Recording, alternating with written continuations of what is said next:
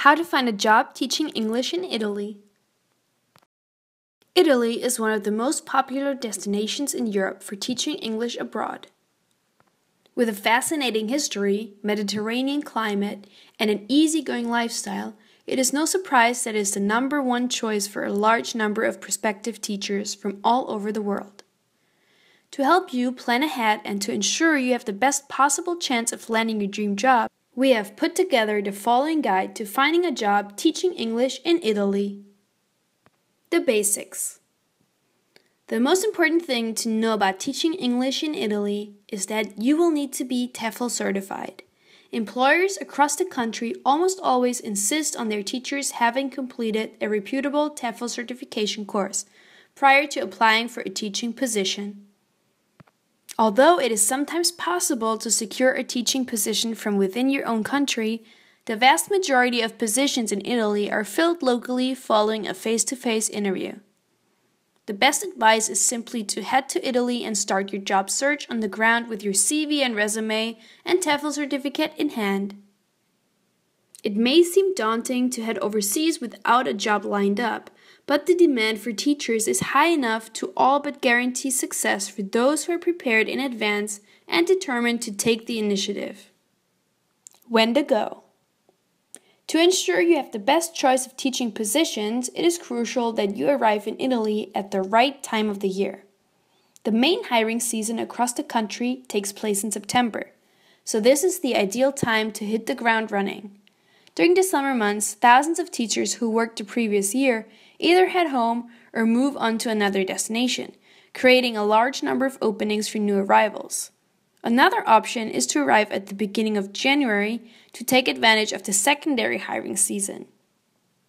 The good news for citizens of EU countries is that they do not need any kind of visa or work permit to legally teach English in Italy. Subsequently, teachers from the UK and Ireland have a significant advantage in the job market.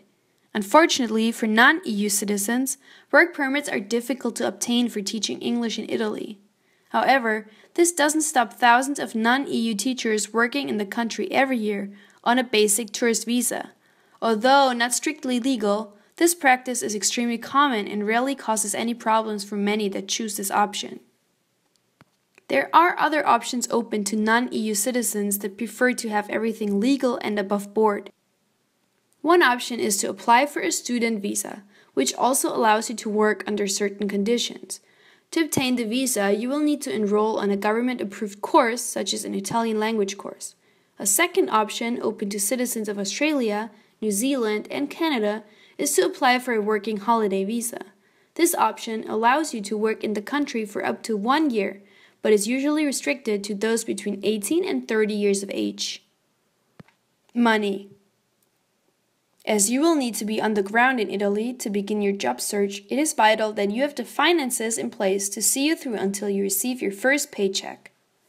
Realistically, you should budget for a minimum of 4 to 6 weeks living expenses, including accommodation in a budget hostel, which equates to around 2000 to 3000 US dollars. Job hunting.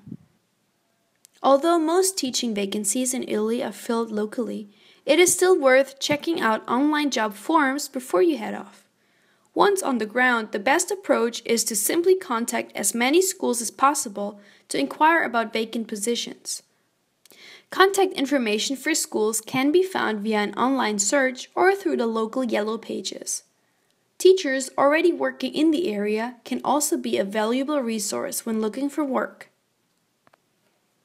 There are several things that you can do before and during the interview process to give yourself the best possible chance of securing a position. Firstly, make sure you have a professional looking CV or resume and cover letter that have been translated into Italian. Business cards can also be useful for handing out to prospective employers or private clients. On arrival, it is a good idea to purchase a phone or SIM card so you can have a local number for employers to contact you on. Finally, don't forget to dress the part, as nothing will ruin your chances quicker than by turning up to a job interview in Italy looking anything other than smart and professional.